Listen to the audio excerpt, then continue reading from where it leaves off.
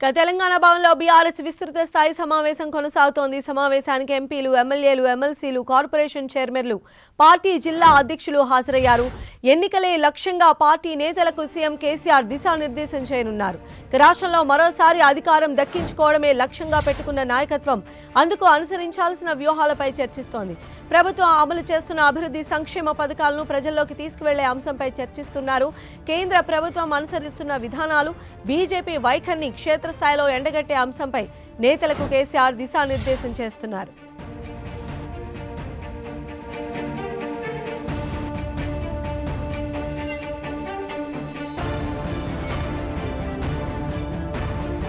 తెలంగాణ భవన్లో బీఆర్ఎస్ విస్తృత స్థాయి సమావేశం కొనసాగుతోంది. సమావేశానికి ఎంపీలు ఎమ్మెల్యేలు ఎమ్మెల్సీలు కార్పొరేషన్ చైర్మన్లు పార్టీ జిల్లా అధ్యక్షులు హాజరయ్యారు.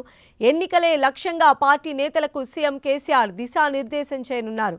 రాష్ట్రంలో మరోసారి అధికారం దక్కించుకోవడమే లక్ష్యంగా పెట్టుకున్న నాయకత్వం అందుకు అనుసరించాల్సిన వ్యూహాలపై చర్చిస్తుంది. ప్రభుత్వం అమలు చేస్తున్న అభివృద్ధి సంక్షేమ పథకాలను ప్రజల్లోకి తీసుకువెళ్ళే అంశంపై చర్చిస్తూ ఉన్నారు. కేంద్ర ప్రభుత్వం అనుసరిస్తున్న విధానాలు బీజేపీ వైఖరిని క్షేత్రస్థాయిలో ఎండగట్టే అంశంపై నేతలకు కేసీఆర్ దిశానిర్దేశం చేస్తున్నారు.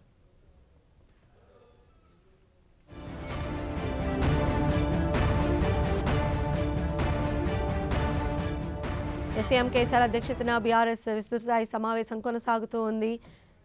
మూడోసారి అధికారమే లక్ష్యంగా కేసీఆర్ వ్యూహాలు రచిస్తున్నట్లుగా తెలుస్తోంది. అసెంబ్లీ పార్లమెంట్ ఎన్నికలపైనే ప్రధానంగా ఫోకస్ చేయబోతున్నారు. మరిన్ని అప్డేట్స్ కూడా తెలుసుకుందాం. మా ప్రతినిధి శ్రీకాంత్ మనకు అందుబాటులో ఉన్నారు. శ్రీకాంత్. సంధ్య కొద్దిసేపటి క్రితం తెలంగాణ భవన్లో ముఖ్యమంత్రి కేసీఆర్ అధ్యక్షతన బీఆర్ఎస్ పార్టీ కీలక సమావేశం మొదలైంది. ఈ సమావేశానికి ఎంపీలు ఎమ్మెల్యేలు ఎమ్మెల్సీలతో పాటు జే- డీసీసీబీ జడ్పీ చైర్మన్లు కూడా హాజరు కావడం జరిగింది. ఈ సమావేశంలో ప్రధానంగా రాబోయే ఎన్నికల్లో మరోసారి అధికారం దక్కించుకునేందుకు అనుసరించిన అనుసరించాల్సిన వ్యూహాలపైనే ప్రధానంగా చర్చ జరుగుతున్నట్టు తెలుస్తుంది. ఎన్నికల్లో విజయం సాధించాలి. కేంద్ర కేంద్ర ప్రభుత్వం అనుసరిస్తున్న వైఖరిని ఎలా తిప్పుకొట్టాలి? బీజేపీ బీజేపీ రాష్ట్రంలో చేస్తున్న అంటే రాజకీయ అంశాలను కూడా ప్రధానంగా ప్రస్తావించి. అందుకు ధీటుగా తాము బీఆర్ఎస్ పార్టీ తరఫున ఎలాంటి కార్యాచరణ అమలు చేయాలన్న అంశంపై చర్చించే అవకాశం కనిపిస్తుంది. రాబోయే ఎన్నికల్లో ప్రధానంగా బీజేపీ కాంగ్రెస్ పార్టీలతో పోటీ ఉన్న నేపథ్యంలో ఆ రెండు పార్టీలు ఇప్పటికే ప్రజాక్షేత్రంలో విస్తృతంగా పర్యటనలు చేస్తున్నాయి. ఇక్కడ కూడా బీఆర్ఎస్ పార్టీ నేతలు కూడా ఇకపై ప్రజాక్షేత్రంలోనే ఉండాలని ఎన్నికలయ్యే వరకు ఎమ్మెల్యేలు తమ తమ నియోజకవర్గాల నుంచి బయటకు రావద్దన్న సూచనలను పార్టీ ఇప్పటికే ఎమ్మెల్యేలకు చేసింది. ఇకపై మరింత కఠినంగా ఈ అంశాలను పార్టీ సీరియస్గా ఉండాలన్న ఒక సంకేతాలు సీఎం కేసీఆర్ ఇచ్చేలా కనిపిస్తా ఉంది. ఆ, దీంతో పాటు గత బీఆర్ఎస్ ఎల్పీ సమావేశంలో పార్టీని మరింత పటిష్టంగా మార్చేందుకు పార్టీలో అక్కడక్కడ ఉన్న విభేదాలను సమిసిపోయేలా సమసిపోయేలా చేసుకునేందుకు ఎమ్మెల్యేలకు ఆత్మీయ సమ్మేళనాలు నిర్వహించి పార్టీలో నియోజకవర్గంలో అందరినీ కలుపుకొని పోవాలన్న సూచనలు చేశారు. చాలా మంది ఎమ్మెల్యేలు ఆత్మీయ సమ్మేళనాలు పూర్తి స్థాయిలో నిర్వహించకపోవడంపై సీఎం కేసీఆర్ గురుగా ఉన్నట్టు తెలుస్తా ఉంది.